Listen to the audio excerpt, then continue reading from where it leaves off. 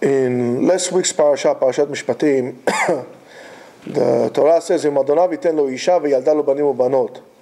If his master will give him uh, uh, a wife, and she will give will give birth to him, sons or daughters.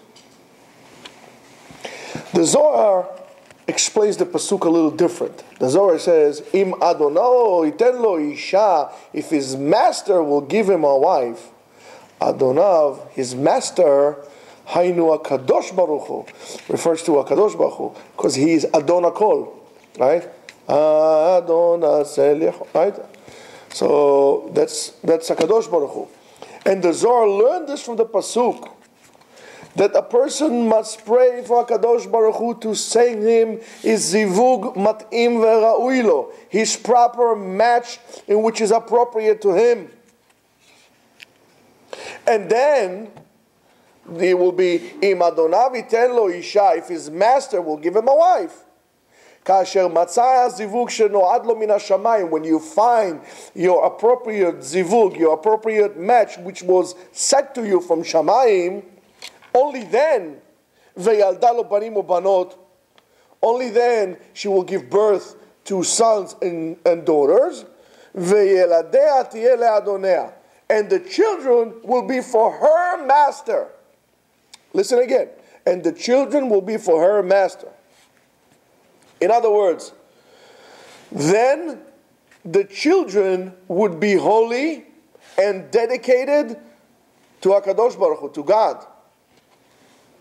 But, so therefore, if you're asking for Hakadosh Baruch Hu to send you, he said, Ribbon Shalom, you send me my zivug. I want my proper wife, the one that you intended to me. You need to ask him. If you do so and she comes and you marry her, then your children is almost a guarantee, unless you spoiled it, that your children will be dedicated to Akadosh Baruch Hu. But he who goes after his eyes, Rabbi, I'm not attracted to her. Rabbi, why can't I do? There's no spark. You know, I don't feel anything physical. I'm not attracted. This is a bunch of baloney. He who goes after his eyes and chooses his zivug, his mate, kefi retzono, according to his will and his desires, without putting a prayer first, he might have in his destiny set for him sheino shelo, a mate that is not his. Ve'az, and then he would not complete the purpose in which he came to this world. According to the Kabbalah, your punishment would become to come in a gilgul, into reincarnating, to come here. So your reincarnation is because you did not marry the right one. Why? Because you failed to pray. ואין לך עונש גדול מזה, and there is no greater punishment than to come here in, in, in reincarnation again. Why? Because you didn't finish the purpose in which you came here. And I'll tell you that. Your purpose might be just to help one Jew. It needs to be complete, shalem. Therefore, it says in Tehillim, Lamed Bet 32, "Al zot יתפלל כל chasid elecha le'et מצוא. Therefore, any righteous person, any pious person would pray for you to the time, for a specific time. What is a specific time? Le'et מצוא. And Chazal says in Masechet Brachot, in Daf Chet Amud Aleph, "Le'et מצוא, zo isha." That's a wife. Le'et metzo means a wife. Why? שנאמר, מצא אישה, מצא טוב. He find a wife, he find good. ואין טוב אלא תורה. ואין טוב אלא תורה. So therefore, you're marrying your wife not to play snooker or billiard with her, or to play pool with her, or to hang around now. You you marry a wife that she would encourage you and she will push you to learn. The whole purpose that you marry a woman that you can learn. Why? Because you need to educate your children. You need to make sure that they stay dedicated to HaKadosh Baruch. How are you going to do it if you don't learn? So therefore, a person needs to beg and ask mercy from HaKadosh Baruch Hu. That he should find and he should receive. So many times you find your other mate, but you don't will you're not willing to receive, to accept her. Why? Because you are not completely putting your faith in the hand of Hashem. She's a nice girl. Yeah, she's good midot. However, mm, I don't know, she's a little on the uh, heavy side. So what?